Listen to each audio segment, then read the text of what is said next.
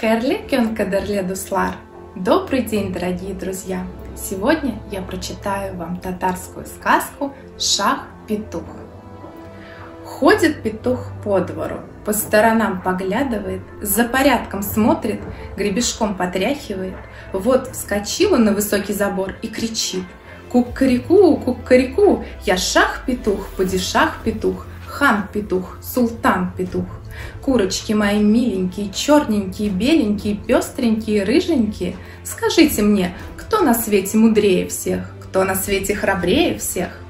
Сбежались курочки, и чернушечки, и пеструшечки, и серенькие, и беленькие, и рыженькие, и рябенькие, обступили своего шаха, падишаха, светлого хана, пресветлого султана, обступили со всех сторон и запели.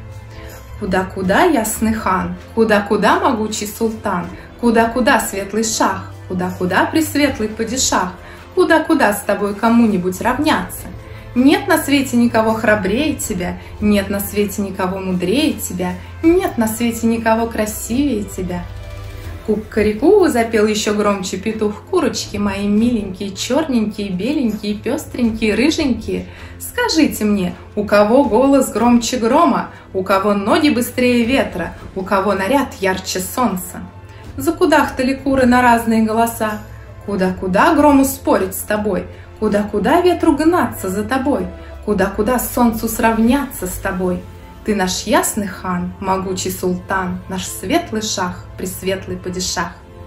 Надулся петух от важности, задрал голову, затряс красным гребнем, закричал во весь свой петушиный голос. Кук-карику, курочки мои миленькие, черненькие, беленькие, рыженькие, пестренькие – Подойдите ко мне поближе, да скажите погромче, у какого хана трон выше всех, у какого султана корона краше всех? Подбежали курочки к самому забору, поклонились курочки своему султану и заговорили все разом. Куда-куда ханам до тебя, куда-куда всем султанам до тебя, ты наш светлый шах, наш пресветлый падишах, Ты родился в короне, вечно будешь на троне.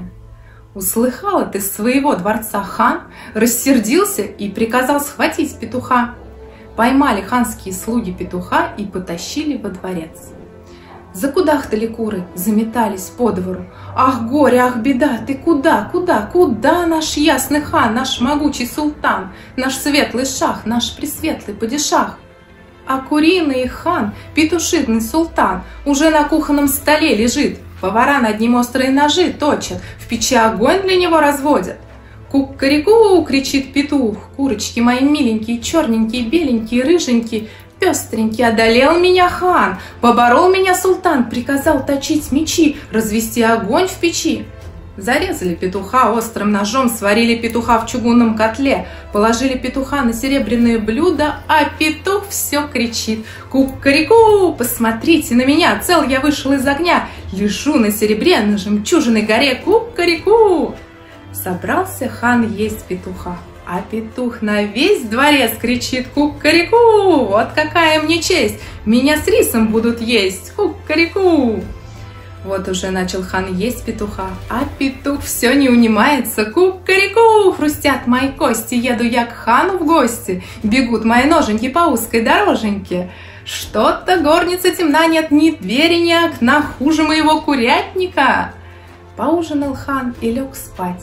Да недолго спал, чуть свет запел петух у хана в животе. Кукареку! Один раз пропел, другой раз пропел, а на третий раз скочил хан и говорит – Режьте мне скорее живот, доставайте оттуда петуха, нет мне от него покоя. Разрезали хану живот, петух и вылетел.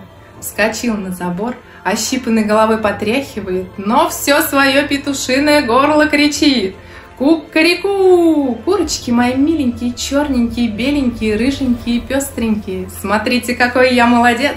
Все мне нипочем, зарезали меня мечом, сварили в котле, побывал я на столе, зубами меня перетерли, погасил я у хана в горле, попал в ханский живот, а ничто меня не берет. Пойду я теперь войной на грозного хана, разобью я войско великого султана. Кукареку! И пошел по двору бить червяков да мух. Вот такая история, друзья мои. Всего вам самого доброго. До свидания. Сау!